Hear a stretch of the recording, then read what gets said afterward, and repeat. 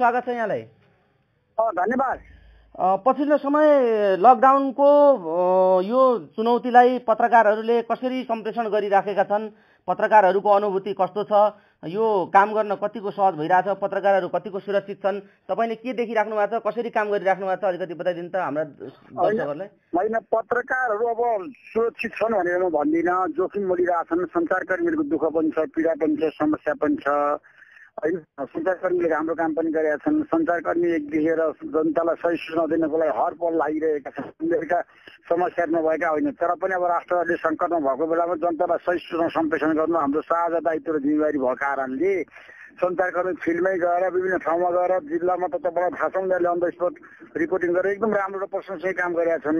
सञ्चारकर्मीलाई हामी सबैले स्यावासी दिने समर्थन गर्ने सहयोग गर्ने उनीहरूलाई चाहिँ अब सुरक्षाका ल्याउने चाहिँ उपलब्ध गराउने र सबै कुरामा हामीले सञ्चारकर्मीलाई पर्फेक्ट बनाउनुपर्छ तर ऋषिजी वास्तवमा यो सञ्चारकर्मीले जसरी काम गरिराखेका छन् विभिन्न ठाउँबाट जसरी मानिसहरूको दुःख समस्यालाई रिपोर्टिङ गरिराखेका छन् अप्ठ्यारोलाई रिपोर्टिङ गरिराखेका छन् तर सरकार सामान्य प्रशासन मन्त्रीले त भोकानाङ्गा मान्छे कहाँ छन् हामीले देखेकै छैन तथ्यहीन तरिकाले पत्रकारहरूले चाहिँ तथानाम कुरा गरिरहेछन् भन्ने खालको अभिव्यक्ति दिनुभयो भन्ने कुरा आइराखेको छ के भन्नुहुन्छ यो विषयमा मन्त्रीहरू किन संवेदनशील छैनन् समाचारप्रति होइन मन्त्रीजीहरू अब किन छैनन् त्यो त समीक्षाको विषय भयो। राज्यमा बसेर राज्यको चाहिँ सेवा सुविधा लिएर काम गर्ने मन्त्रीहरू जिम्मेवार हुनैपर्छ उनीहरूले दिएर पन्छिन मिल्दैन होइन।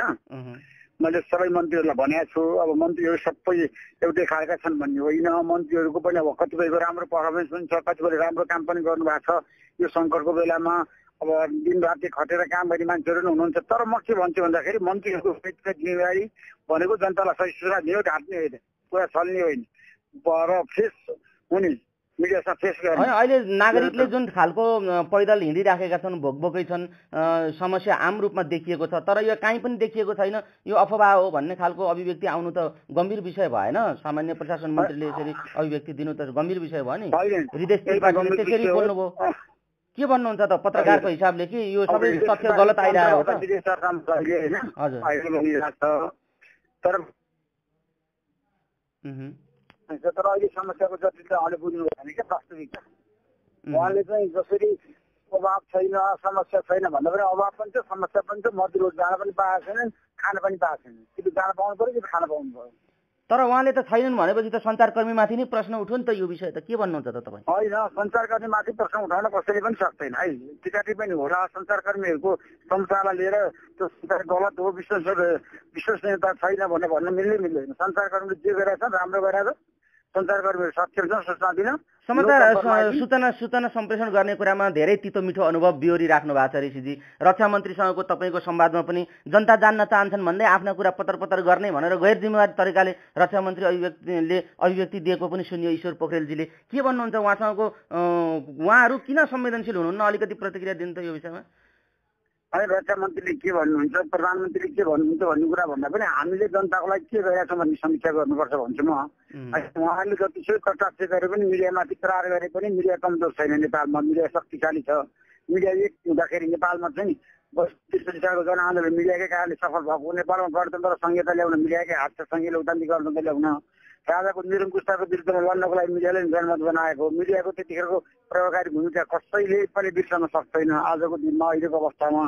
तर पनि म के भन्छु भने तपाईँले जुन कुरा उठाउनु भयो अब मन्त्रीहरूले अब दिएको टिका टिप्पणी म धेरै त्यो- त्यसको चाहिँ समीक्षा गर्न पनि चाहन्न। अब टिप्पा टिका टिप्पणी गर्न पनि चाहन्न। मन्त्रीहरूको आफ्नो दृष्टिकोण उहाँलाई बोल्ने अधिकार छ नैसर्गिक अधिकार छ तर बोल्दाखेरि बुझेर सही इन्फर्मेसनका साथ बोल्नुपर्छ। मन्त्रीहरूले तत्कालै प्रतिक्रिया दिने प्रतिक्रियाको प्रतिक्रिया दिने होइन। विभिन्न सत्तादेखि बाहिरका प्रतिपक्षी पार्टीका नेताहरू यो विषयमा कतिको संवेदनशील छन्? सरकारले कतिको कोअर्डिनेसन गरेको छ? नेताहरूसँग त प्रत्यक्ष कुराकानी गरिराख्नु भएको छ। प्रचण्डजीसँग लगायत ठुल्ठुलो वरिष्ठ नेताहरूसँग तपाईँको संवाद भइराखेको छ। कस्तो अनुभूति पाउनु भएको छ? व्यक्तिगत रूपमा अलिकति ऋषिजी बताइदिनु त यो अनुभव।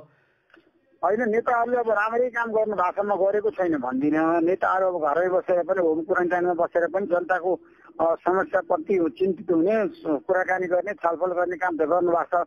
तर जनताले जसरी निर्वाचनमा जाँदाखेरि जनतालाई भन्नुभएको थियो नि त हामी तपाईँहरूले कस्तो सुकै समस्या परे पनि गर्छौँ पाँच वर्षमा गर्छौँ भन्नुभएको थियो। अब चुनावमा सडक उतारेका जनतालाई आज सडकमा आउँदाखेरि दलका नेताले किन हेरेन मेरो प्रश्न त्यतातिर हो। अब यो यो सङ्कटमा चौधरी निर्वाह गर्न। यो सङ्कटमा होइन प्रतिपक्ष सत्तापक्ष र प्रतिपक्ष दुवै दलको चाहिँ दृष्टिकोण राम्रो भएको छैन क्या दुवै। सत्तापक्षले पनि जसरी जनताको मन जित्न पऱ्यो त्यो जित्न सकेको छैन। प्रतिपक्षले पनि जनताको एजेन्डा उठाउन गर्न सकेको छैन।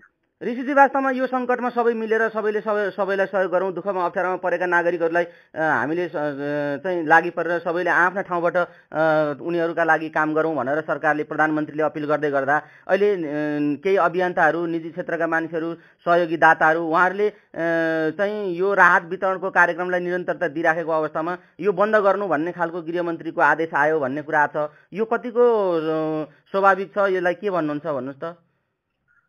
अब हेर्नुहोस् है रात वितरणमा पनि निष्पक्ष हुनुपर्छ। रात वितरण पनि तपाईँको चाहिँ एकदम समय सापेक्ष हुनुपर्छ। त्यसमा राजनीतिकरण हुनु हुँदैन। राजनीतिकरण जसले गर्छ त्यसलाई ब्याकफायर हुन्छ है। म भनिदिन्छु एकदम सिरियसली तपाईँलाई। राजनीतिकरण गर्ने आग्रह पूर्व आग्रह नगरिकन जानुपर्छ होइन?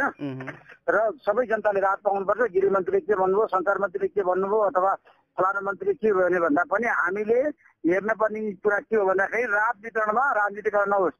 रात वितरणमा त्यहाँ ठुला मान्छे मेरा मान्छे भनिरहोस्। राज रात वितरणमा सबैका मान्छे सबैका जनताका मान्छेले रात पाउनु पर्यो जनताको मान्छेले जनता खान नपाएका मजदुर निहोका एकदम दुःख पाएका जनताले रात पाउनुपर्छ क्या। तर रातमा समेत भ्रष्टाचार भयो भन्ने कुरा उठेको छ जनप्रतिनिधिले नि चामल लुकाएको कुरा पनि उठेको छ। अब यो त संवेदनशील विषय भयो। अहिले भ्रष्टाचारको स्थिति कस्तो छ? कसरी सञ्चारकर्मीले काम गरिरहेका छन्? भ्रष्टाचारको यो भण्डाफोर गर्ने कुरामा कतिको प्रभावकारी काम भइराखेको छ तपाईँको अनुभवमा? होइन प्रभावकारी काम त भइराखेको छ। होइन जसरी अब हामीले चाहिँ रात वितरण भएकै छैन भन्न सक्दैनौँ। तर रात वितरणमा आग्रह पूर्व आग्रह पनि भएको छ। रात वितरणमा तलमाथि पनि भएको छ। रात वितरणमा पुगेको चामलहरू पनि बाँडिएको छ। गोराएको चामल पनि बाँडिएको छ। जिल्ला जिल्लामा अब तपाईँको स्थानीय तहमा स्थानीय सरकारले जनताको बिचमा नगरपालिकाले गाउँपालिकाले जसरी कुरा गरेको त्यो अनुसार व्यवहारमा काम भएको छैन। मैले बारम्बार घटका घटकाएको छु रेडियोमा टेलिभिजनमा बोल्दाखेरि पनि मैले भनेको छु बोलेको कुरा पुरा गर र बोल्ने भए साँच्चीकै जनतालाई छ नि पीडामा साथ दिने गरी बोला। पीडामा साथ दिने मलमपट्टि लगाउने गरी समस्याको समाधान गर्ने गरी बोला भनेको छ।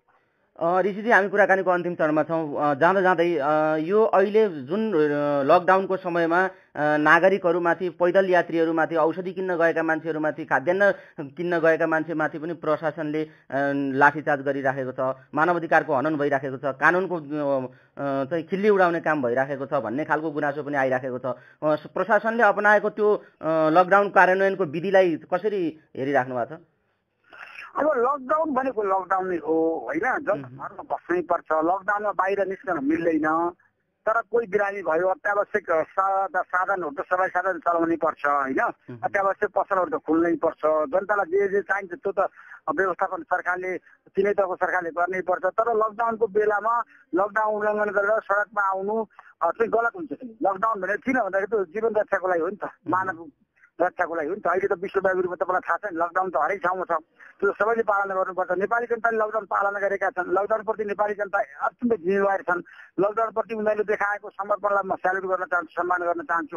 तर तपाईँले जसरी भन्नुभयो एउटा तर्क गर्नुभयो त्यसमा चाहिँ म सहमत छु। किन भन्दाखेरि बाहिर आएका मान्छेहरू सामान किन्न आएका दुध किन्न आएका तरकारी किन्न आएका औषधि किन्न आएका मान्छेहरूमाथि चाहिँ सुरक्षाकर्मीले संवेदनशील हुनुपर्छ क्या? उनीहरूलाई सम्मान गर्ने हो। उनीहरूलाई आदर गर्ने हो। तपाईँहरूको समस्या के छ भने भन्ने हो सोध्ने हो समस्या समाधान गर्ने गाली गर्ने लाठी प्रहार गर्ने चाहिँ काम कसैले पनि गर्नु हुँदैन।